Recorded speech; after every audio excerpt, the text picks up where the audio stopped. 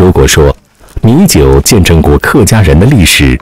美食则是融入他们日常生活中的另一种文化载体。快到清明节了，这天，廖金荣去野外采摘最新鲜的艾叶，他要做一道古田的特色美食——艾叶板。